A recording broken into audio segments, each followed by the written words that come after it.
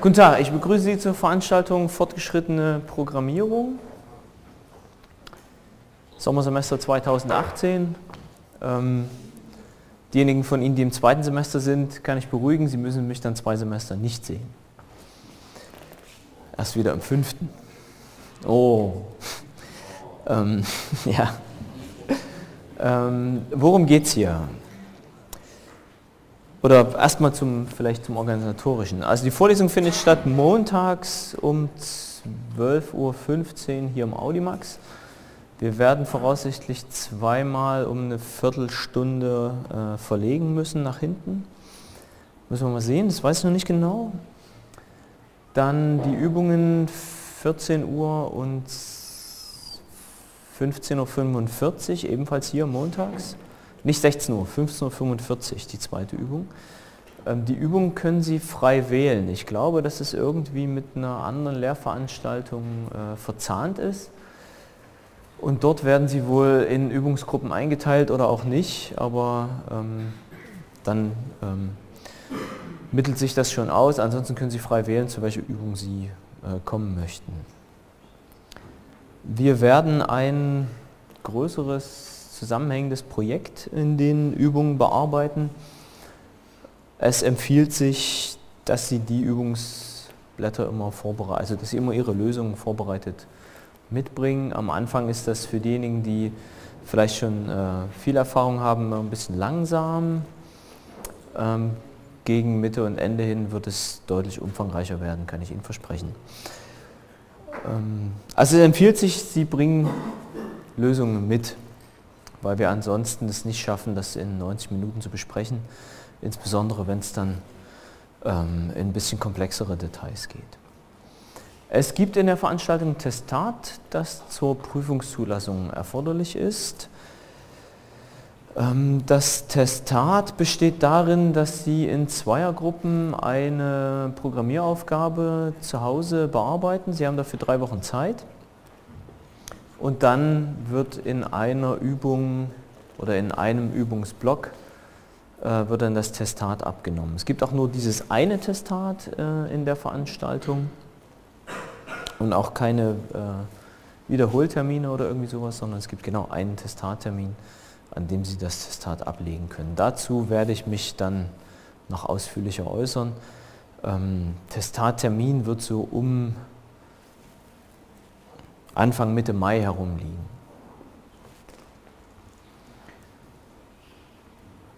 Gut, ähm, noch was? Ich zeichne die Veranstaltung auf, ähm, hauptsächlich am Computer mit der, also mit, den, äh, mit, dem, mit dem Screencast. Heute haben wir jetzt mal hier dieses, ähm, dieses mobile Aufzeichnungssystem, das werde ich aber nur heute verwenden, ansonsten die äh, Screencast und werde dann auch gleich an den Computer rüber wechseln und dort ähm, mit dem Screencast fortfahren. Sie brauchen also nichts mitzuschreiben, ähm, sondern können sich ganz auf die Vorlesung konzentrieren, wenn Sie das möchten. Inhaltlich. Ähm, inhaltlich geht es im Wesentlichen um Webtechnologien, aber mit dem Hintergrund, dass wir grafische Oberflächen bauen wollen. Also wir hatten ja im ersten Semester uns hauptsächlich mit den Grundlagen der Programmierung beschäftigt. Äh, dann haben Sie die grundlegenden Strukturen gelernt, was Schleifen sind, was Bedingungen sind, Zuweisungen, Variable, Typen, was Fehler sind, Fehlerzustände, wie Rekursion funktioniert, all diese Sachen. Das wollen wir jetzt nutzen, um grafische Benutzeroberflächen äh, zu bauen. In jüngster Zeit ist es so, dass grafische Benutzeroberflächen nur noch sehr eingeschränkt mit nativer Software gebaut werden, also mit nativen, als, als native Software gebaut werden. Was heißt das? Ähm, dass wir beispielsweise, wenn wir ein Windows-Betriebssystem haben oder ein Mac-Betriebssystem haben und dieselbe, dasselbe Programm bauen wollen, zwei verschiedene Stücke Software entwickeln müssen. Der Trend geht also in den letzten Jahren ganz eindeutig in Richtung webbasierte ähm, Anwendungssysteme, das heißt Anwendungssysteme, die im Webbrowser laufen. Und deswegen finde ich es ganz sinnvoll, wenn wir uns damit eben auch beschäftigen in dieser Veranstaltung, wenn wir also webbasierte Systeme bauen. Das macht keinen wesentlichen Unterschied, äh, ob wir jetzt eine äh, Standalone Java-Anwendung bauen oder ob wir ein webbasiertes System bauen, was im Browser läuft. Das ist von den Konzepten her nur unwesentlich unterschiedlich. Ähm, wir werden also so Konzepte kennenlernen wie ereignisgesteuerte Programmierung. Ja, wir haben ja plötzlich mit, einem, mit einer User-Interaktion zu tun. Ähm, wir werden lernen, wie man Oberflächen strukturiert, also wie man sie strukturell aufbaut und wie man sie dann gestalten kann. Das werden wir jetzt in den ersten drei Veranstaltungen relativ zügig tun. Also wir werden uns mit HTML beschäftigen als äh, Sprache zur Oberflächenbeschreibung, wir werden uns mit CSS beschäftigen als Sprache zur Oberflächengestaltung. Und wir werden uns mit JavaScript äh, beschäftigen als Programmiersprache, um die Interaktion äh, in den Seiten oder in den, in den äh, Programmen zu erreichen. Und wir werden uns mit JavaScript beschäftigen, um serverseitige Software zu bauen. Also Sie werden auch noch lernen, wie man verteilte Software-Systeme entwickelt, also Software-Systeme, die eine zentrale Datenhaltung auf dem Server haben und dann eine verteilte, eine verteilte Oberfläche, die halt äh, von vielen verschiedenen Usern genutzt werden kann. Wir werden uns mit Fragen auseinandersetzen, die so ein bisschen in die funktionale Programmierung reinreichen, was Closures sind, was äh, Lambdas, Lambda-Ausdrücke sind. Ähm, der Charakter des Studiums hier ist ja so gestaltet, dass sie eben eine ganze Menge von, auf, aufgrund dieses äh, stark komprimierten Curriculums, dass wir einige theoretische Teile, die aber aus meiner Sicht wichtig sind, leider auslassen müssen, ähm, wie zum Beispiel den Lambda-Kalkül. Und äh, ich werde hier ein paar äh, Grundlagen von äh, Lambda-Kalkül noch vorstellen. Wir werden uns damit beschäftigen, wie, wie Objekte serialisiert werden können, also über das Netz, beziehungsweise wie Objekte so umgewandelt werden können, dass man sie übertragen kann über eine Netzverbindung. Werden also uns mit modernen Technologien auseinandersetzen. Das ist, glaube ich, eine ganz spannende Geschichte und ich glaube, es ist auch eine sehr zukunftsorientierte ähm, Ausrichtung dieser Lehrveranstaltung, wenn wir nicht mit irgendwelchen nativen äh, Sachen Software bauen, sondern wenn wir uns mal damit beschäftigen, wie man sowas im Webbrowser macht. Und äh, ich denke, dass das auch was sein wird, was Sie in Ihrem Arbeitsleben gut gebrauchen können. Wenn man internetbasierte Software bauen möchte, ist es manchmal ganz sinnvoll, dass man so ein bisschen eine Idee davon kriegt, äh, wie sich das alles entwickelt hat und ähm, warum das eigentlich ganz schlau ist, das im Browser zu machen und warum das erst neuerdings ganz schlau ist. Und deswegen will ich Ihnen das jetzt einmal so ein bisschen vorstellen. So ich es hinbekomme. Ja. Also angefangen hat das alles in den 60er Jahren, beziehungsweise Ende der 60er Jahre mit dem sogenannten ARPANET. Die ARPA ist ein Forschungszentrum des amerikanischen Militärs gewesen, oder ist es nach wie vor, nach meiner Kenntnis. Und ähm, Gegenstand dieses ARPANET war eine Vernetzung von äh, US-amerikanischen Universitäten. Der das Problem dabei war, oder nicht das Problem, sondern der erste Ansatz war, dass dieses Netzwerk dezentral und redundant ist. Das heißt, jeder einzelne Knoten hatte eine komplette Kopie aller Inhalte, ähm, die in diesem Netzwerk verfügbar waren, sofern sie für das Gesamtnetzwerk relevant waren. Ähm, das hat sich natürlich in den späteren Jahren ähm, erheblich verändert. Es wurde dann das TCP-IP-Protokoll im ARPANET verwendet. Ähm, das kennen Sie aus Grundlagen der Informatik. Ende der 80er Jahre sind die ersten deutschen Internetprovider äh, Eunet und Xlink entstanden. Ähm, kleiner Hinweis am Rande, Sie haben vielleicht schon mal eine Edu-Domain gesehen, also äh, harvard.edu oder sowas. Die TU Dortmund ist tatsächlich die einzige Universität, mindestens in Deutschland, möglicherweise sogar außerhalb der USA, die eine Edu äh, hat. Und 1989 wurde dann äh, das ARPANET abgeschaltet, äh, aufgrund dessen, dass man in Richtung äh, TCP/IP und HTTP äh, äh, gegangen ist, beziehungsweise das HTTP kam ein bisschen später sogar noch, nämlich mit äh, dem Tim Berners-Lee, dem Erfinder des World Wide Web, der hat, da ist noch am CERN in, in Genf und hat die Idee gehabt, ein dezentrales, nicht redundantes System aufzubauen, äh, wo auf verschiedenen Servern verschiedene Informationen gehostet werden können und man äh, immer nur äh, die jeweilige Serveradresse kennen muss, um auf die Informationen zuzugreifen. Und in dem Zusammenhang sind drei wesentliche Technologien entstanden, nämlich das Hypertext-Transferprotokoll, was praktisch das Basisprotokoll des Internets ist und ähm, durch verschiedene Entwicklungen der jüngeren Zeit nochmal eine besondere Bedeutung bekommt, ähm, nämlich als Grundlage sogenannter REST Interfaces, die wir hier auch bauen werden. Mhm. Im Zuge dessen ist auch der sogenannte URI entstanden, der Uniform Resource Identifier, nämlich äh, ein, äh, ein Feature, um Ressourcen im Web zu adressieren und die Hypertext Markup Language. Das ist, ein, ähm, ist abgeleitet von, von XML, von der Extensible Markup Language, äh, ist eine strukturierte Sprache, mit der Dokumentstrukturen beschrieben werden können. Was das alles bedeutet, werde ich in den nächsten äh, Minuten und auch in der nächsten Vorlesung noch äh, ausführlicher dann darlegen. Ja, die Webseite des ersten Webservice ist info.cern.ch und die ist nach wie vor online. Äh, witzigerweise kann man sich dort unter anderem mal angucken, wie Browser in den Anfangsjahren des Web aussahen. Also einen textbasierten Browser haben die dort simuliert. Das ist ganz spannend.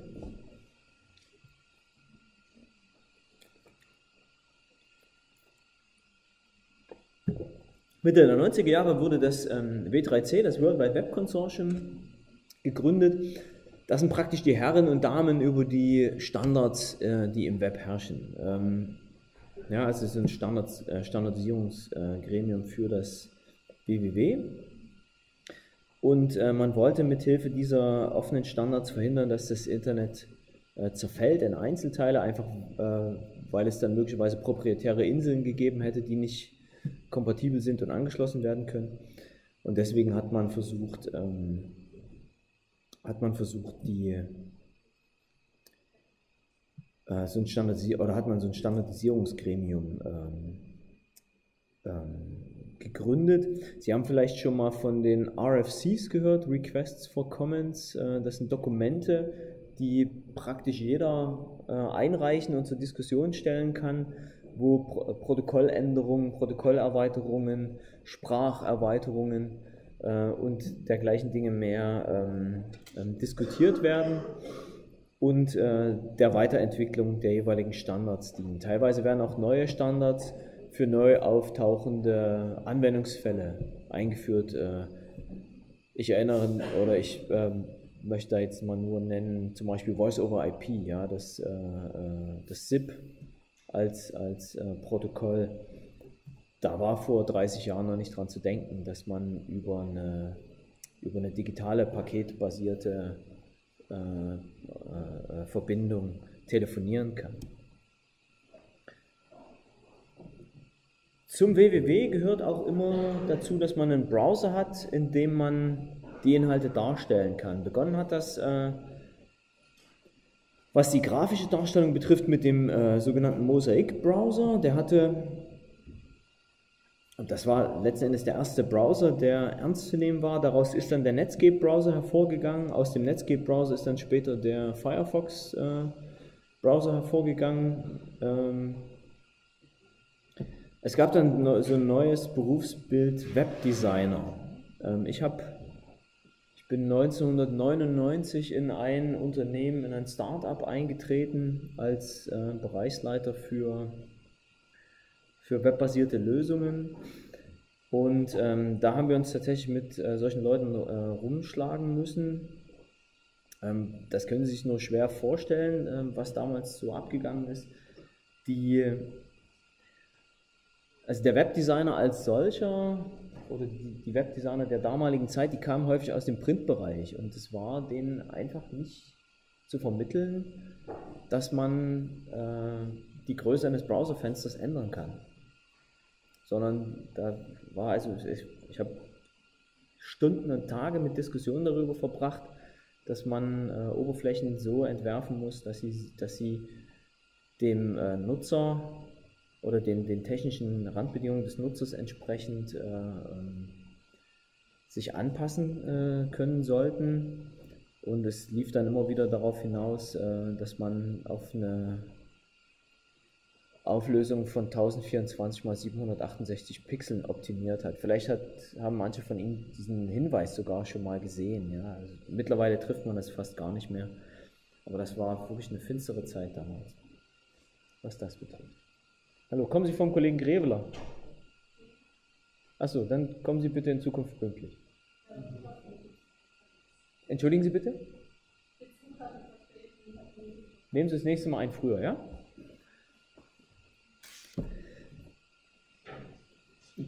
Mitte der 90er Jahre steigt äh, äh, Microsoft in diesen, in diesen Markt ein und das hat nochmal zu einer enormen Verwerfung geführt, nämlich ähm, damals war es eine Eigenheit äh, der Firmenpolitik von Microsoft, dass man so eigene Brötchen gebacken hat, also proprietäres Zeug gebaut hat. Und das haben die auch äh, mit dem Internet äh, Explorer versucht und eine Zeit lang auch durchaus erfolgreich hinbekommen, was dazu führte, dass man sich nicht mehr darauf verlassen konnte, welche Eigenschaften die Ausführungsumgebung der Software hatte. Das hat die Entwicklung von vernünftiger webbasierter Software bestimmt um geschätzt 10 bis 15 Jahre zurückgeworfen. Ähm, weil die Ausführungsumgebung für JavaScript eben praktisch unvorhersagbar war. Es war unglaublich teuer Software für einen Browser zu entwickeln, weil man so viele verschiedene äh, mögliche Ausführungsumgebungen berücksichtigen musste.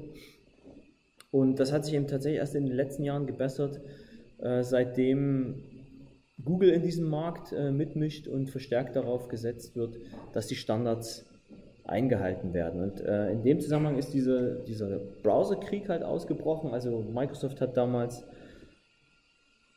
den Internet Explorer als Bestandteil des Betriebssystems Windows ähm, verkauft und ist dann in einem längeren äh, Rechtsstreit von der EU dazu verdonnert worden, auch die Möglichkeit zu geben, andere Browser zu, ähm, zu installieren. Sie kennen das vielleicht, wenn Sie in letzter Zeit mal ein Windows-System installiert haben, dass Sie gefragt werden, welchen Browser Sie haben wollen. Das ist ge genau Ergebnis dieses Rechtsstreits, ist dieser Dialog. 1998 wurde der Quellcode von äh, Netscape veröffentlicht. Ich kann mich noch gut daran erinnern, ähm, ähm, wie viel Häme Netscape oder wie viel Häme über Netscape ausgeschüttet wurde wegen der Quellcode-Qualität. Ähm, daraufhin wurde aber das Mozilla-Projekt gegründet und ähm, seitdem wird der Firefox-Browser äh, entwickelt, streckenweise sehr erfolgreich. Und dann hat Google mit dem Chrome-Browser die, ähm, die Bühne betreten und äh, hält momentan, wenn wir auf die Verbreitung in Deutschland schauen, äh, den größten Marktanteil. Wobei man da hier sagen muss, dass der Marktanteil von Google, äh, von Chrome, im weltweiten Vergleich sehr gering ist. Also im, im, in anderen Ländern sind das deutlich über 60 Prozent. Smartphones haben, den, haben die Welt nochmal erheblich verändert mit den kleinen Displays.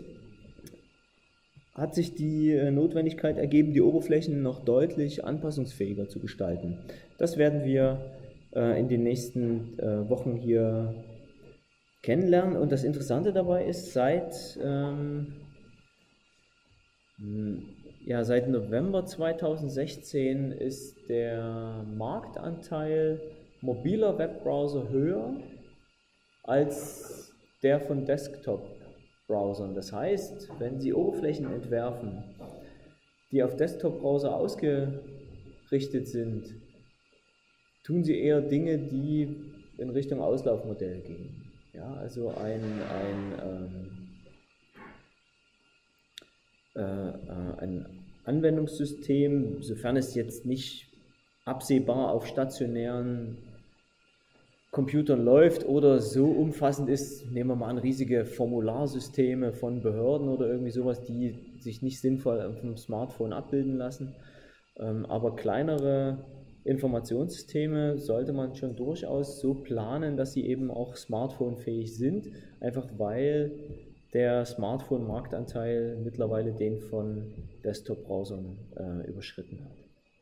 Ja, wir haben dadurch ganz neue Ansprüche an Websites und äh, solche Dienste, äh, insbesondere begrenzte Bandbreite, wir haben geringere Rechenleistung und wir haben Interaktion nur über Touch stimmt jetzt nicht ganz, man, äh, doch, das stimmt, äh, nur über Touch, aber man kann sich natürlich auch so eine Bildschirmtastatur einblenden.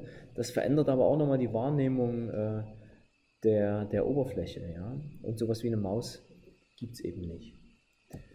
In einem wichtigen Zusammenhang mit dem Internet äh, steht dieses Hypertext-Transferprotokoll.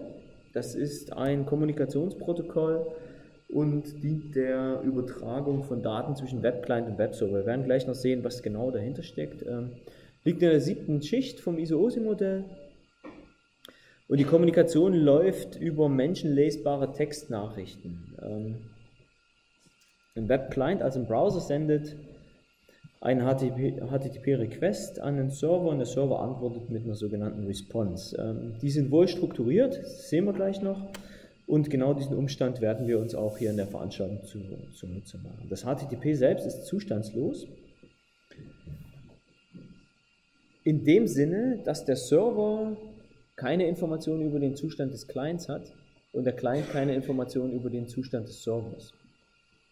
Ähm, das ist auch ein positiver Aspekt von äh, moderner webbasierter Software, ähm, dass wir genau diesen äh, dass wir genau diesen Umstand ausnutzen wollen, weil Statusinformationen zu verwalten immer Schwierigkeiten nach sich zieht. Das werde ich dann an geeigneter Stelle noch ein bisschen äh, weiter ausführen.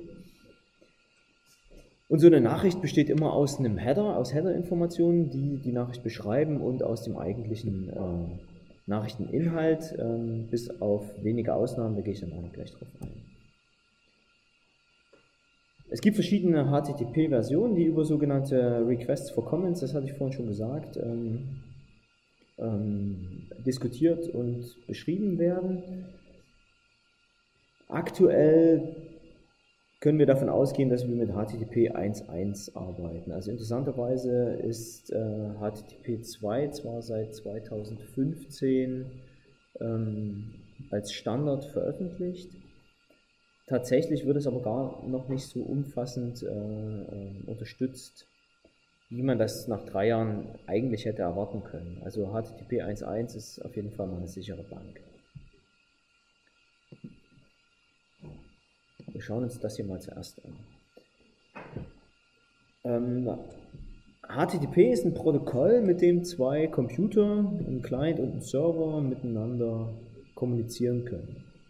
Auf der äh, und es läuft so ab, dass der HTTP-Client, wenn er im Browser läuft, was in schätzungsweise 95% der Fälle äh, so ist, dass der einen Request an einen HTTP-Server sendet, zum Beispiel in der Form http.softlab.hsrw.eu und dann eine HTTP-Response zurückkriegt. Und hier steht jetzt drin HTML-Daten. Das ist das, äh, wie das Internet vor vier Jahren ungefähr äh, funktioniert hat. Ich will da trotzdem jetzt hier an der Stelle nochmal darauf hinweisen.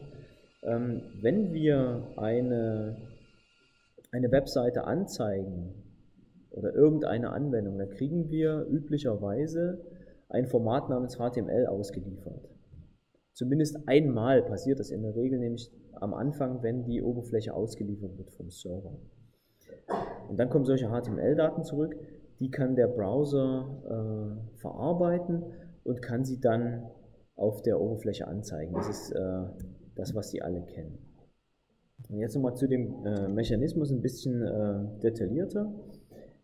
So ein HTTP-Client äh, adressiert eine Datei oder eine Ressource, eigentlich besser gesagt, und diese Ressource muss eben auf, einem, auf dem HTTP-Server liegen. Und diese Adressierung erfolgt mit Hilfe eines sogenannten URLs. Den Begriff werden wir auch noch häufiger ähm, ähm, sehen. So ein Uniform Resource Locator. Und der ist immer gleich aufgebaut. Der besteht nämlich aus einem Protokoll, ein oder mehreren Subdomains, einem Domainname und der sogenannten Top-Level-Domain. Das wollen wir uns einmal anschauen. Top-Level-Domains sind bis auf wenige aus. Ach nee, neuerdings ist es ja ganz anders. Ähm, Top-Level-Domains waren lange Zeit länderbezogen. Also es gab eine Domain .de für Deutschland, .us für USA, .ru für Russland und so weiter. Und ähm, es gab ein paar Ausnahmen davon äh, in den USA, MIL, Gov, Org und Edu, die für besondere ähm, Zwecke reserviert waren. Und mittlerweile ist es aber tatsächlich so, dass äh, ja sehr, sehr viele sogenannte Top-Level-Domains äh, Verbreitung gefunden haben. Hier in der Gegend zum Beispiel .ruhr könnte man sich äh, ähm, eine Domäne registrieren, Info, BIS und so weiter. Die Top-Level-Domain ist immer die letzte Angabe vor dem Port. Die Portnummer wird mit Doppelpunkt äh, abgetrennt. Äh, was ein Port ist, müssten Sie, bin ich nicht sicher, müssten Sie wissen eigentlich, ja, TCPI, äh, TCP-Port. Bei den Standardprotokollen HTTP und HTTPS muss die Portnummer nicht mit angegeben werden. Port 80 und Port 443 braucht man nicht anzugeben. Das Protokoll selber wird auf diese Weise genannt http und ähm, Tim Berners-Lee hat mal gesagt, äh, dass er sich in seinem Leben über nichts mehr ärgert, als darüber, diese beiden Slashes äh, eingeführt zu haben, weil die eigentlich unnötig sind. Man braucht die nicht. Ein Doppelpunkt würde völlig ausreichen. Und äh, wahrscheinlich verbrauchen diese Slashes Energie im Megawatt-Bereich oder sowas, nur dass es diese zwei Slashs gibt. Ja, die müssen interpretiert werden, die müssen angezeigt werden, die müssen irgendwo gespeichert werden. Ähm, kleine Dinge mit großer Wirkung. Und dann kann man hinter dem Port, beziehungsweise hinter der Top-Level-Domain, wenn man den Port weglassen kann, noch so einen Pfad zu einer Datei oder zu einer Ressource angeben, so wie man das äh, aus dem Filesystem kennt. Ähm, diese Pfadangaben sind betriebssystemunabhängig. Es macht also keinen Unterschied, ob der Server ein Windows-System ist oder ein Unixoides System. Es werden immer Vorwärts-Slashes verwendet, keine Backslashes, auch wenn das Server-Betriebssystem möglicherweise Backslashes standardmäßig verwendet. Das ist also eine andere Ebene von, von Adressierung von Dateien. So, was passiert da? Das Protokoll wird erkannt da wird ein Request an das sogenannte DNS geschickt. Äh, DNS kennen Sie, meine ich auch. Ne? Äh, müssen Sie aus, diese, aus Grundlagen der Informatik kennen? Ja? Muss ich nicht nochmal erläutern. Ähm, also der Domainname wird dann in eine Adresse, äh, in eine IP-Adresse übersetzt und nur mit dieser IP-Adresse kann ähm, über mehrere über mehrere Knotenpunkte dann tatsächlich der jeweilige Server angesprochen werden. Und dann wird über TCP IP die Verbindung zu diesem Port 80 äh, aufgebaut.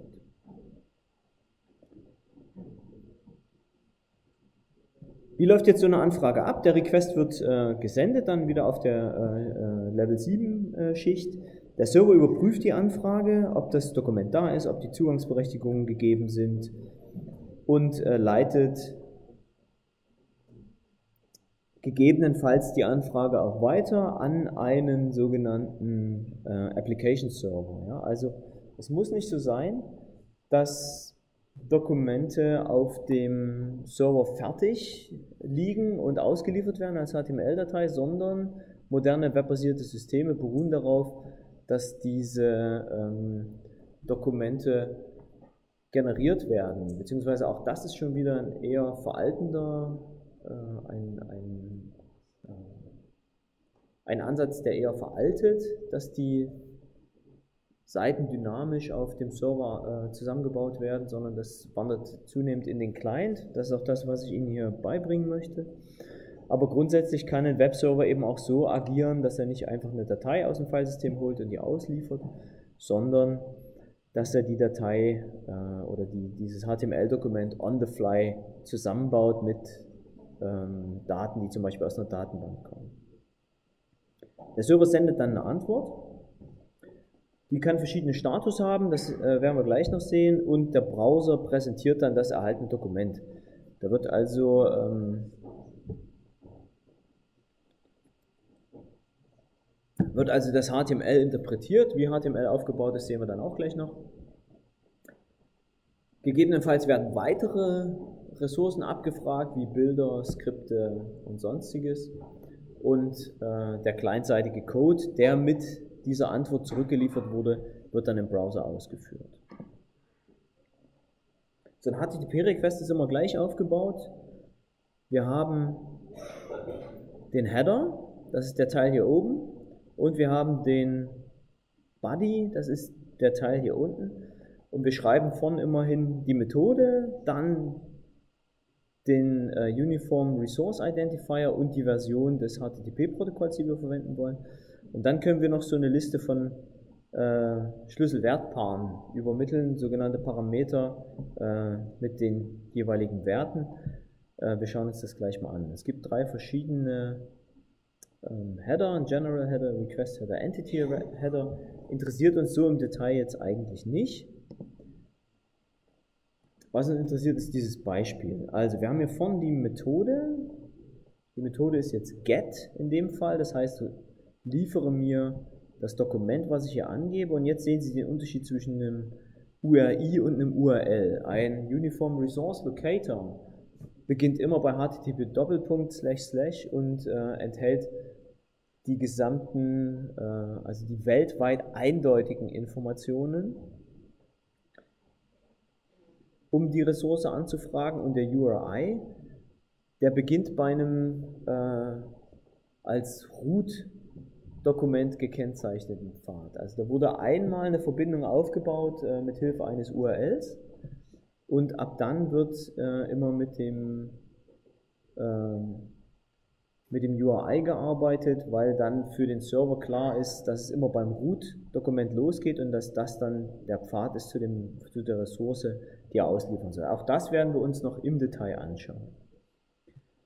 So, dann gibt es so einen General Header, wo drin steht, äh, wann das Ding abgeschickt wurde, wie mit der Verbindung zu verfahren ist, und äh, ein Request-Header, da stehen so Sachen drin wie, äh, welche Datentypen äh, akzeptiert werden, welche Sprachen, welches Encoding, also welche, welche, ähm, welche Kompression gegebenenfalls. Es wird mitgeliefert, welche, um welchen User-Agent es sich handelt, also welchen Browser. Das kann für den Server von Bedeutung sein, dass er gegebenenfalls Seiten unterschiedlich rendert, äh, wenn unterschiedliche Browser ähm, da kommen. Hier wird der Host noch mitgeliefert und äh, der Referrer besagt, woher das gekommen ist. Das sind alles äh, gegebenenfalls optionale Header, die müssen also nicht zwingend angegeben werden. So, wenn wir keinen Request Body mitsenden, brauchen wir auch keinen Entity Header äh, mitzuschicken, weil der den Body Inhalt beschreibt. Das steht nämlich zum Beispiel drin und das wird wichtig werden in den kommenden äh, Veranstaltungen äh, wie ist die Inhaltskodierung? Äh, wir hatten Anfang des letzten Semesters ja die umfassende Diskussion über UTF-8. Ähm, also man kann dann angeben, mit welcher Zeichensatzkodierung das äh, Dokument geliefert wird, kann die Sprache angeben, den Content-Typ, es gibt verschiedene Inhaltstypen, auch das werde ich im Detail noch erläutern, wie lang der Inhalt ist und dann die eigentlichen Nutzdaten, zum Beispiel Formulardaten. Ja, wenn man eine Formulareingabe hat für einen Tarifrechner bei einer Kfz-Versicherung, der Hersteller, Schlüsselnummer und äh, ähm, Hubraum, Erstzulassungsdatum, Alter des Kraftfahrzeughalters, Anzahl der Fahrer und lauter solche Daten, das steckt dann alles auf eine bestimmte Weise kodiert im Body drin. Es gibt eine ganze Menge verschiedener HTTP-Methoden. Für uns wesentlich sind die Methoden get, post, put und delete. Das sind nämlich die vier Methoden, die ausreichen, um ein Informationssystem äh, zu bauen. Die bilden das sogenannte äh, CRUD-Schema ab. Auch da werde ich noch äh, drauf eingehen. Mit GET holen wir äh, Inhalte vom Server ab, mit POST schicken wir Daten an den Server und kriegen gegebenenfalls Daten zurück. Mit PUT laden wir Daten auf den Webserver, werden, das ist nahezu dasselbe wie Post, wir werden aber sehen, dass die Unterscheidung sinnvoll und notwendig ist. Und mit Delete, naja, können wir Ressourcen löschen. Ähm, Die sind mit äh, HTTP Version 1.1 erst eingeführt worden, aber äh, die nehmen eben einen wichtigen, eine, äh, einen hohen Stellenwert ein. Wenn der Server eine Antwort zurückschickt, dann sieht das ganz ähnlich aus. Der schreibt, welche Version er liefert, wie der Statuscode ist, also wie er mit dem Request, äh, ob er, wie er den Request verarbeitet hat und einen Statustext, das werden wir gleich noch sehen, die, die hängen direkt miteinander zusammen, also der Statuscode ähm, bedingt den Statustext. Dann kommt wieder so ein Schlüssel-Wertpaar, äh, eine Menge von Schlüssel-Wertpaaren und dann kommen die eigentlichen Nutzdaten, die zurückgeschickt werden. Das sieht hier auch wieder so ähnlich aus. Ja, hier steht jetzt HTTP 1.1, 200, okay. 200 bedeutet, ist alles in Ordnung und der zugehörige Statuscode ist dann eben okay. Hier wieder die Header, dann gibt es nochmal ähm, Response-Header und der Entity-Header, das ist die Beschreibung wieder des Inhalts. Äh, da steht dann drin, was geliefert wird, nämlich Text HTML und wie lang das ist. All das werden wir im Detail noch sehen. Es gibt fünf Statuscode-Gruppen in HTTP. Ähm, die 100er Gruppe dient dazu mitzuteilen, dass die aktuelle Anfrage noch verarbeitet wird. Äh, alle 200er sind irgendwie erfolgreich, äh, Kennzeichen erfolgreiches Durchführen der Operation. 300er bedeuten, dass die Ressource irgendwohin anders umgezogen ist, also umgeleitet wird. Ähm, 400 ist äh, eine Mitteilung des Servers, dass der Client einen Fehler gemacht hat. Und 500 ist eine Mitteilung des Servers, dass er selber in irgendeinem Fehlerzustand ist und den nicht lösen kann. So ein paar Beispiele mal. Ähm, 200 hatte ich schon gesagt, 301 moved permanently. Das ist eine Information, da liefert der Server normalerweise die Adresse, die neue Adresse mit und der Browser ruft dann von dieser neuen Adresse vollautomatisch die Informationen ab. Also das ist dann transparent. Ja, das, äh, das, ähm, das kriegt man als User dann gar nicht mit. Not modified wäre jetzt äh, so, eine, so ein Hinweis, das hat sich gar nicht geändert. Du kannst es also aus dem Cache laden, also aus deinem Zwischenspeicher. Die 400er, 404 haben Sie bestimmt alle schon mal gesehen, 401, äh, 403, also äh, der Client ist nicht berechtigt oder der Zugriff wird verweigert. Und 500, es ist irgendein interner Serverfehler aufgetreten, ähm, was auch immer. Gut, jetzt müssen wir einmal kurz überlegen, eine halbe Stunde haben wir noch. Ich will noch zwei Dinge nahebringen. Ähm, wir machen mal weiter mit Storyboards und dann machen wir so eine kleine, ganz kleine Einführung in HTML. Also heute ist es ein bisschen kompaktifiziert, damit Sie ans Arbeiten kommen und die Übungsaufgaben äh, schon mal bearbeiten können. Okay, wir schauen mal. Ähm, ich hatte ja eingangs gesagt, dass wir uns beschäftigen wollen mit grafischen Benutzeroberflächen. Ähm, grafische Benutzeroberflächen bedeuten in der Regel auch, dass die Anwendungssysteme, die wir entwickeln, ein bisschen größer sind als äh, finde die Quersumme von 3000 rekursiv. Ähm, und das wiederum bedeutet, dass wir uns viel mehr in Richtung reales Leben bewegen. Und das wiederum bedeutet, dass Sie verstehen müssen, dass ähm, Anwendungen, die im realen Leben stattfinden sollen, nicht einfach so aufgeschrieben werden können. Okay, also grafische Benutzeroberflächen bedürfen üblicherweise umfassenderer Planung. Und es gibt ähm, verschiedene Sorten von Kunden, mit denen man so typischerweise zu tun hat. Ähm, wenn Sie mit Marketingleuten als Ansprechpartner zu tun haben, ist es immer wichtig, dass das, was Sie präsentieren, schick aussieht. Wenn Sie eher mit, mit äh, Personen zu tun haben, die fachliche Anforderungen definieren, also aus der Fachabteilung stammen oder aus der oder Techniker sind, also äh, technische Rahmenbedingungen vorgeben, ist es eher wichtig, dass es funktioniert. Das bedeutet, mit unterschiedlichen äh, Kundenrollen muss man auch unterschiedlich umgehen. Das ändert aber nichts daran, dass man trotzdem Software vernünftig planen äh, muss. Ja, also bei einem, wenn man mit Technikern zu tun hat, ist es häufig eher so, dass man ein großes Verständnis dafür hat, dass äh, man einen technischen Durchstichprototypen bauen können muss. Das Geht jetzt ein bisschen in Richtung Software Engineering, was ich Ihnen erzähle. Das lernen Sie alles im vierten Semester nochmal ausführlicher.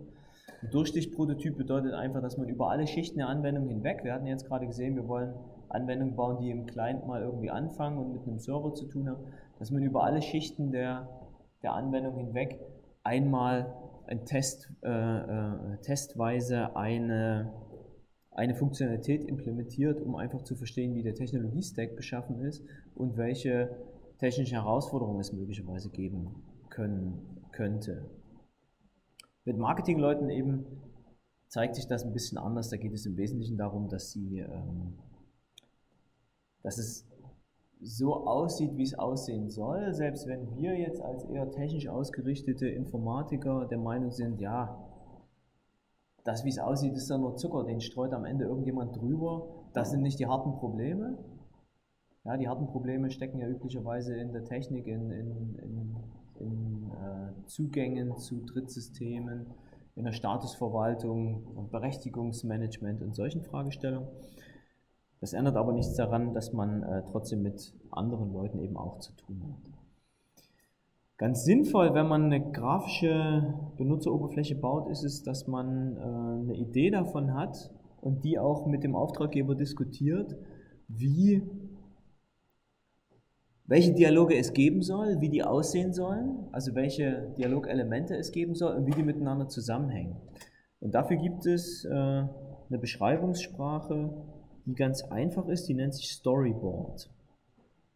Dafür gibt es auch online ähm, Tools, mit denen man solche Storyboards bauen kann. Ich bin zu der Einsicht gekommen, dass es für mich am besten funktioniert, wenn ich es mit einem Stift auf dem, auf dem Display schreibe, wo man da drin rumradieren kann.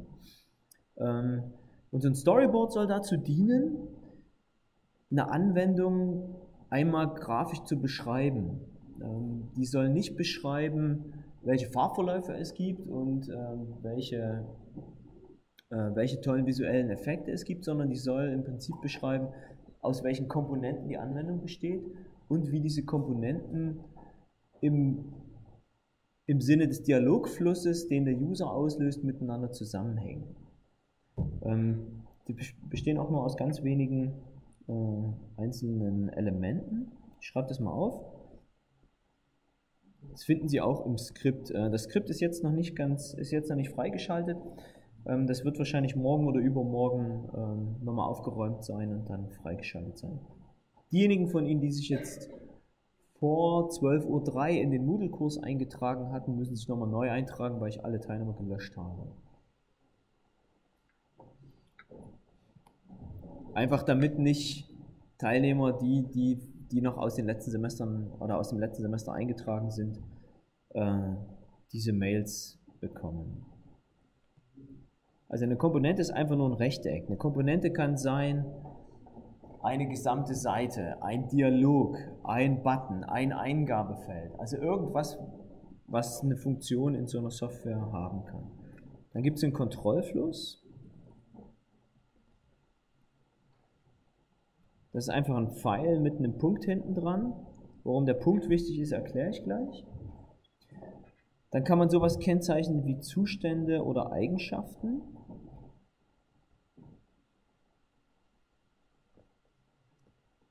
Oder Ereignisse, Verzeihung.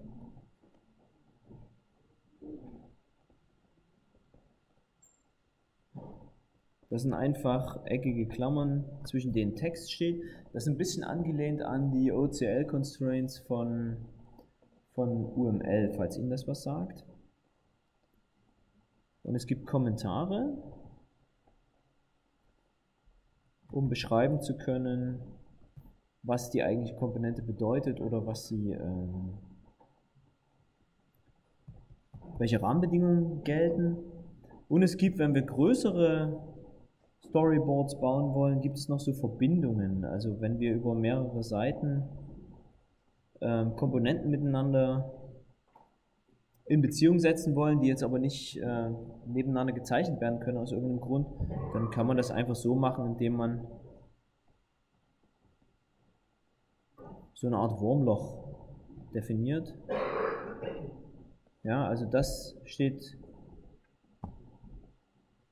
das steht auf einer Seite, das steht auf einer anderen Seite und durch diese drei ist gekennzeichnet, dass die zusammengehören. So etwas ähnliches haben Sie bestimmt schon mal gesehen im Zusammenhang mit Aktivitätsdiagrammen oder mit, ähm, mit äh, Programmablaufplänen oder irgend sowas, wenn Sie schon mal mit strukturierter Softwareentwicklung außerhalb dieser Hochschule hier zu tun hatten. Und der nächste Punkt ist, äh, oder das letzte Element ist die Abstraktion. Das ist kein wirkliches Element in dem Sinne, sondern das ist einfach nur eine Art und Weise, wie wir Komponenten verwenden. Ähm, wenn wir nämlich Komponenten Namen geben, wie zum Beispiel sagen wir mal Home,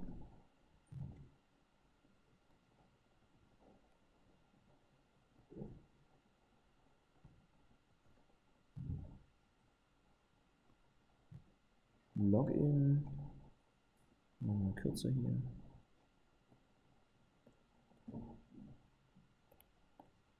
Konto, dann kann man äh, mit Hilfe solcher Abstraktionen auf verschiedenen Ebenen darstellen, wie größere oder kleinere Zusammenhänge sind. Ja? Ähm, das heißt, hier habe ich jetzt in die Einzelkomponenten gar keine Controls oder sowas eingezeichnet, sondern ich habe einfach nur Komponenten miteinander verbunden, habe gesagt, man kommt irgendwie von Home nach Login und irgendwie von Login nach Konto und von Konto kommt man Vielleicht nicht nach Login, aber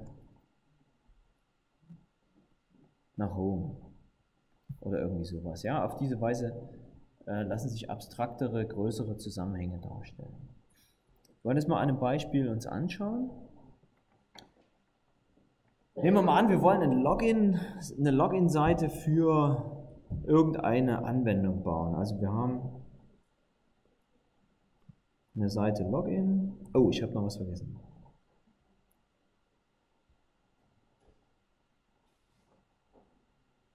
Wir brauchen ja noch, noch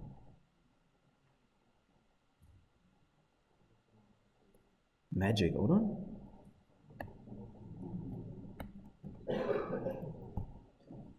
Wir brauchen noch Verzweigungen.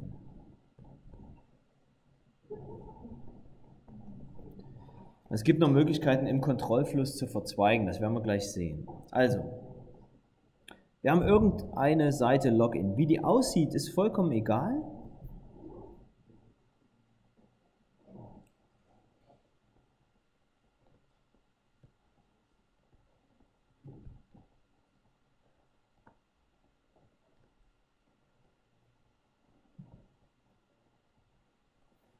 Und die enthält diese Controls. Sie sehen jetzt schon, das ist vollkommen unerheblich, wie das angeordnet ist, wie das, ähm, also über Anordnung kann man vielleicht auch mit Hilfe eines Storyboards diskutieren, aber wie das genau gestaltet ist, ist vollkommen irrelevant. Das hat keine Bedeutung.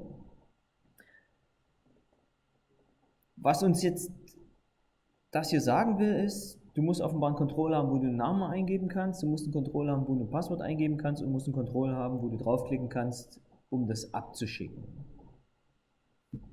So, wenn man jetzt sowas modelliert, dann modelliert man üblicherweise den sogenannten Happy Path. Der Happy Path ist der Pfad durch eine Anwendung, bei dem alles so funktioniert, wie man sich vorgestellt hat. Also der Standardweg äh, durch die Applikation. Wenn wir jetzt einen Namen und ein Passwort eingeben ähm, in diese Login-Seite und auf OK drücken, was passiert denn dann? Ja? Mhm. Genau, wir müssen die Credentials überprüfen. Seltsam. Letztes Jahr hat jemand genau denselben Text gesagt. Haben Sie sich die Vorlesung vom letzten Jahr angeschaut?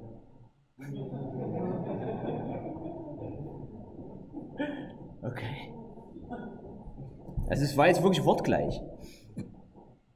Ähm okay. Genau, wir müssen also überprüfen, ob Login und Passwort stimmen. Und in Abhängigkeit von dieser Überprüfung tun wir was?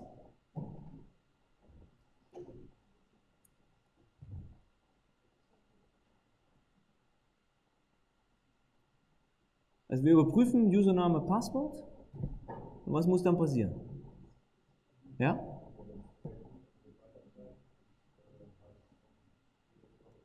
Genau, also es, es kann entweder korrekt sein oder fehlerhaft. Das ist die wesentliche Information. Das heißt, wir werden wohl irgendwie so eine Verzweigung hier brauchen. Und gehen von diesem OK-Button dahin. Und jetzt sehen wir auch, wozu wir den Punkt brauchen. Ähm, ich habe das immer wieder gesehen, dass, ähm, oder ich neige selbst auch dazu, wenn man, wenn man diesen, wenn man einen Pfeil einfach an so ein Control dran schreibt, ähm, lässt man vielleicht ein bisschen Abstand oder achtet nicht so genau drauf. Ähm, und dann kann es manchmal unklar sein, wo der jetzt dran sitzen soll. Wenn der Punkt aber da ist, dann macht man den Punkt genau auf, entweder auf den Rand oder in das Control rein und dann ist die Zuordnung eindeutig. Deswegen gehört der Punkt dazu. So, also Happy Path hatten wir gesagt zuerst. Ähm, Wenn es gut gegangen ist, dann schreiben wir dran Login okay, also das ist der ist das Ereignis, was eingetreten ist. Und dann kommen wir zum Beispiel hier zur Kontoseite. Ja. Und dann kann man hier vielleicht sowas sehen wie meine Bestellungen, Punkt, Punkt, Punkt, ja? Irgendwie sowas. Ähm, In dem einfachen Beispiel kann man sich jetzt aus dem Kontext überlegen, was wohl diese Raute hier tut, nämlich das Login überprüfen. Man kann aber auch sagen, ähm, ich schreibe das als Kommentar dran. Kommentare können einfach an jedes Control dran geschrieben werden. Ja, also an Pfeile, an, an Verzweigungen. Äh, an Komponenten, alles was es gibt. Oder an jedes Element dran geschrieben werden. So, und der andere Pfad ist jetzt natürlich Login nicht okay. So, und was tun wir jetzt? Hm? Mhm. Genau. Und da gibt es jetzt verschiedene Möglichkeiten. Da könnte man jetzt entweder zurückleiten auf dieses Login.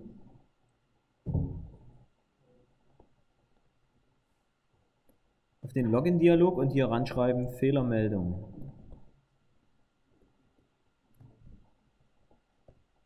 Ausgeben. Man könnte natürlich, das gibt es auch bei manchen Anwendungen, auf eine neue Seite wechseln, in der dann steht, Username, Passwort stimmt nicht und dann noch solche Controls einblenden wie Passwort vergessen oder irgendwie sowas. Ja? Das hängt davon ab, was mit dem jeweiligen Auftraggeber abgestimmt wurde. Ja? Da gibt es möglicherweise, ähm, da gibt es möglicherweise irgendwelche Vorgaben, wie das sein sollte. Ähm, das ist also der Hintergrund äh, dessen, was da passiert. Sie hatten eine Frage. Ein was?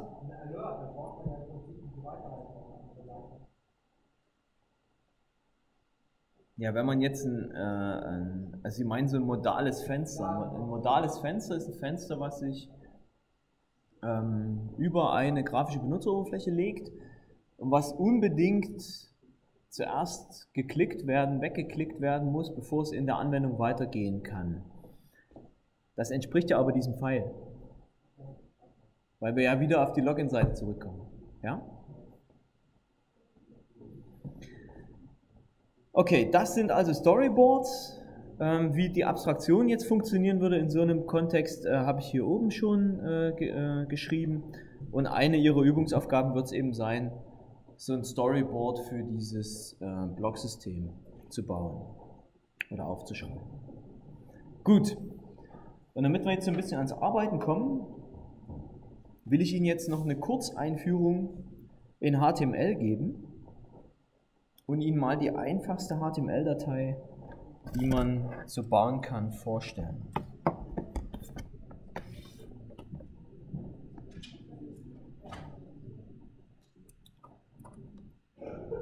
Und das machen wir direkt im Eclipse.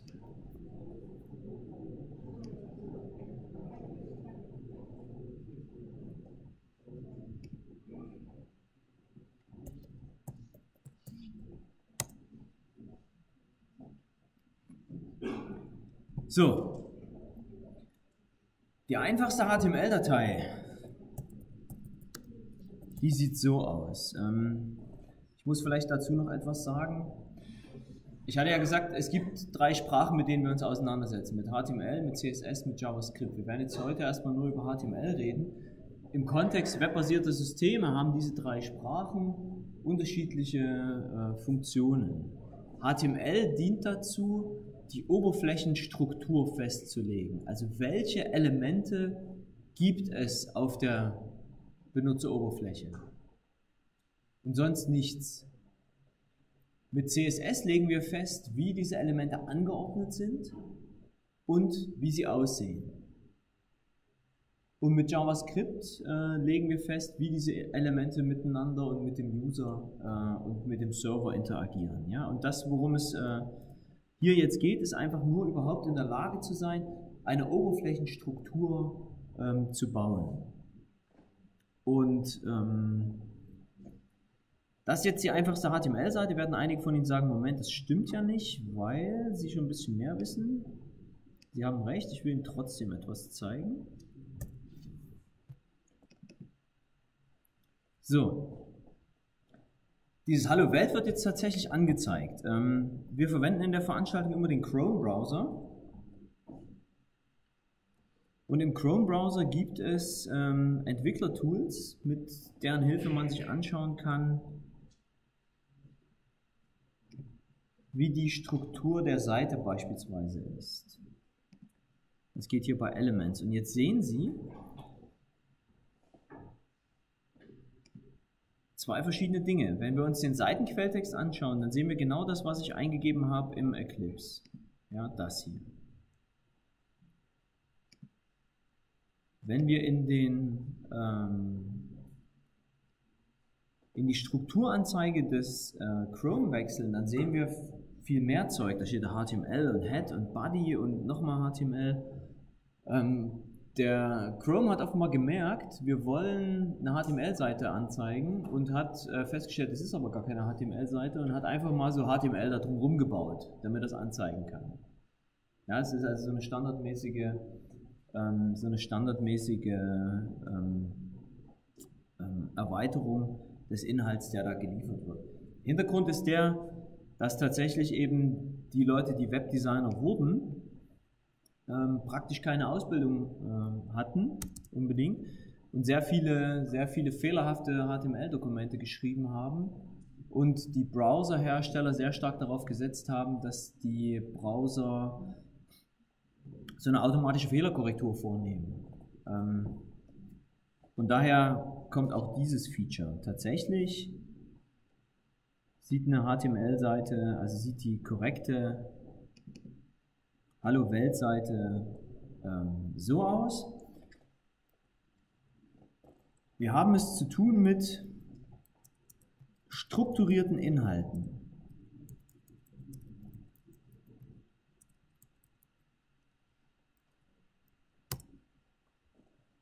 Ich gehe das einmal von oben nach unten durch. Wir geben in so einer HTML-Datei immer zuerst einen Dokumententyp an. Der Dokumententyp, der jetzt da oben steht, bedeutet HTML5. HTML5 ist der aktuelle Standard äh, von HTML und das ist ein sogenannter, ist das zu klein?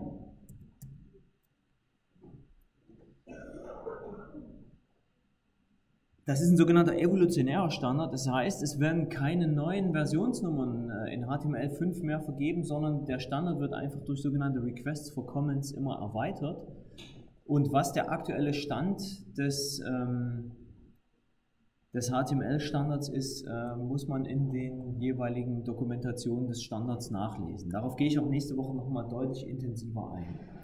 Jetzt machen wir hier bloß mal so einen kurzen Crashkurs, um da reinzukommen.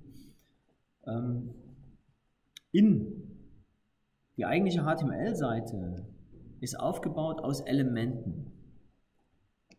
Hier drin stecken jetzt vier Elemente. Einmal das Element HTML, das geht von hier bis hier. Ja, das ist das Element HTML. Ein Element beginnt immer mit einem öffnenden Tag und endet in der Regel mit einem schließenden Tag. Also diese Dinger hier, die heißen Tags. Spitze Klammer, Name des Elements, Spitze Klammer zu und das schließende Tag ist Spitze Klammer slash Name des Elements, äh, Spitze Klammer zu. Nicht alle Elemente haben oder benötigen ein schließendes Tag. Das werden wir in einigen äh, Beispielen sehen. Die, mit denen wir es heute hier zu tun haben, brauchen alle ein schließendes Tag. Die Grundstruktur so einer HTML-Seite besteht aus zwei wesentlichen Teilen, nämlich aus einem Head, das kennen Sie jetzt schon von den HTTP-Requests, und aus dem Body. Im Head stehen Metainformationen über das Dokument, im Body stehen die eigentlichen Inhalte des Dokuments drin. Beispielsweise steht hier im Head der Titel drin, ja, also die Überschrift. Das ist das, was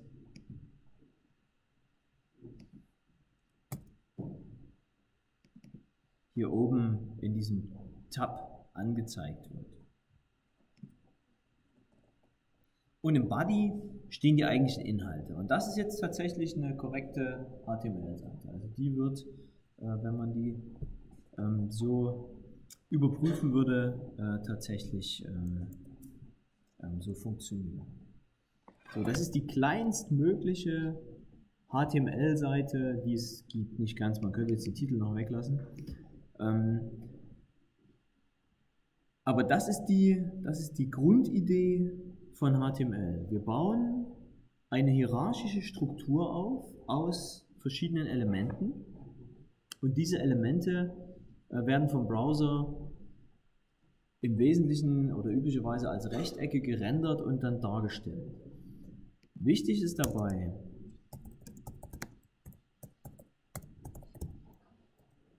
dass das Ganze wie ein einziger großer Fließtext ist.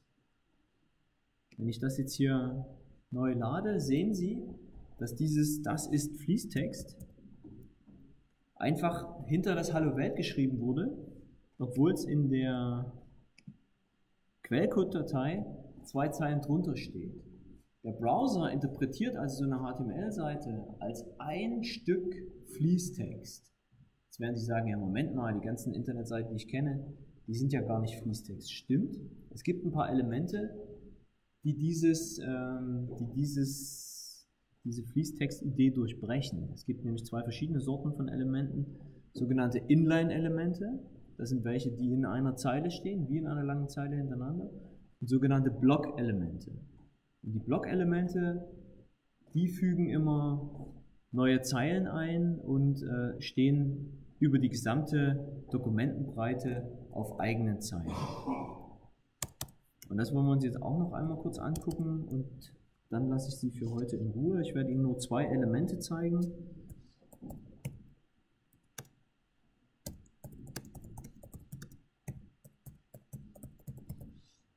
Und dann haben Sie schon alles, was Sie benötigen, um die erste Übung äh, durchzuführen.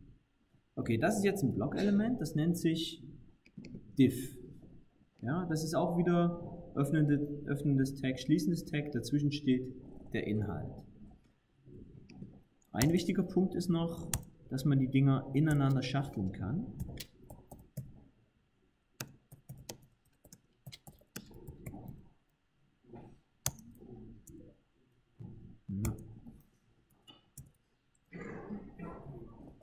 Und wenn wir uns das jetzt mal anschauen, sehen wir, dass jetzt für jedes dieser div-Elemente ein Umbruch erfolgt ist. Wenn wir hier reingucken, dann können wir zum Beispiel auch hier die Elemente selektieren und dann wird hier angezeigt, welches das ist. Und dann sehen wir, dass die ineinander äh, auch geschachtelt sind, also so wie ich das in den, in den Quelltext reingeschrieben habe. Ähm, dieses ineinander Schachteln ist von großer Bedeutung, können Sie sich vielleicht vorstellen, wenn man so Komponenten baut, die zusammenhängen. Darf ich Sie noch bitten um drei Minuten Aufmerksamkeit? Ich bin wirklich gleich fertig und für einige ist es von Bedeutung, das hier zu verstehen. Ähm, das wird, dann, das wird dann wichtig werden, wenn wir, äh, wenn wir zum Beispiel aus mehreren solchen, solchen ähm, Elementen größere Dialoge zusammenbauen oder größere Komponenten zusammenbauen und die auf einen Schlag ein- oder ausblenden können. Dann ist es wichtig, dass sie ineinander geschachtelt sein können, äh, weil man ansonsten alle Elemente, aus denen so ein Ding besteht, einzeln ausblenden müsste. Ja? Und ähm, so ist es halt mit, der, mit dieser Schachtelung sinnvoll, ähm, sinnvoll möglich, einzelne Controls komplett auszublenden. So, das ist ein Element. Und das zweite Element ist der Link.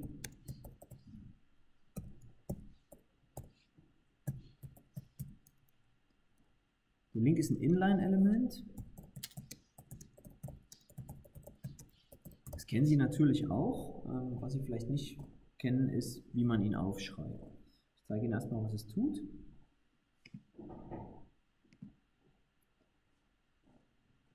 So, hier ist jetzt so ein Element entstanden oder so, so, äh, so, eine Darstellung links zu einer anderen Seite. Wenn ich da draufklicke, kommen wir dann eben auf diese Seite E2, die wir gerade schon gesehen haben. Das ist also das, was äh, die einzelnen Ressourcen im Internet miteinander verbindet und das werden wir auch nutzen, um unsere verschiedenen Komponenten und Controls miteinander zu verbinden, also die Teile unserer Anwendung miteinander zu verbinden. Ja, wenn wir eine Seite haben, in der alle Artikel dargestellt werden äh, und dann auf eine Seite wechseln wollen, in der nur ein einzelner Artikel dargestellt äh, wird, dann schauen wir mal hier zum Beispiel. Ja, äh, jetzt haben wir hier alle Blogbeiträge. Jetzt klicke ich auf einen, dann sehe ich nur noch diesen einen. Das ist also die, die Verbindung äh, zwischen den verschiedenen Seiten, die wir nutzen wollen. Das Schlüsselwort oder der Elementname ist A für Anchor. Und dann geben wir hier noch so ein Attribut, nennt sich das an. Wie die genau funktionieren, werde ich in der nächsten Vorlesung im Detail noch ähm, erläutern. Nur damit Sie jetzt erstmal äh, an den Start kommen, hier einmal so im Schnelldurchlauf. Das nennt sich href. Das steht für Hyperref, also für Hyperreferenz, eine Referenz auf ein anderes ähm, Element. Und dann wird der relative Pfad angegeben. Relativer Pfad, also Pfad vom aktuellen Element, äh, äh, von der aktuellen Ressource aus zu der Ressource, die ich ansteuern will. Es gibt hier auch wieder ein schließendes Tag und dazwischen steht einfach der Text, auf den ich klicken können möchte. Das sind die zwei Elemente, die Sie jetzt so für die, für die Übungslösung brauchen. Das, was Sie in der Übung machen, das wird noch nicht besonders schick aussehen. Das ist aber nicht weiter schlimm. Es, soll, es geht nur darum, dass Sie die strukturellen Hintergründe ähm, dieser Dinge verstehen und einüben. Also HTML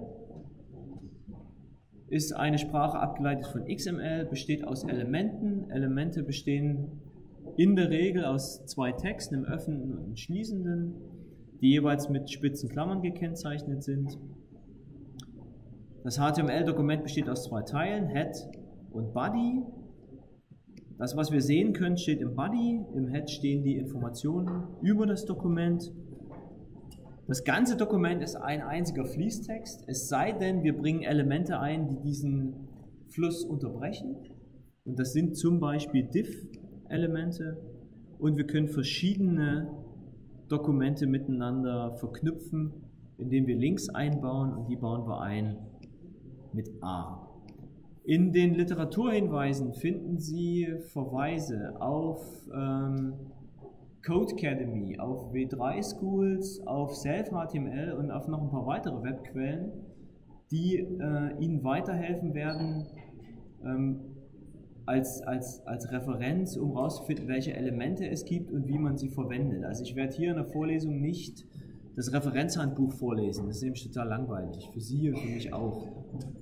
Ähm, deswegen werden wir diesen Teil in die Übung verlagern. Ja, ich werde Ihnen hier versuchen, die Konzepte vorzustellen und Sie sollen in den Übungen diese Konzepte anwenden und im Rahmen von Selbststudium sich halt natürlich dann auch mit den äh, verfügbaren Elementen und deren Verhalten auseinandersetzen. So, vielen Dank für die Aufmerksamkeit. Kommen Sie wieder, seien Sie fleißig.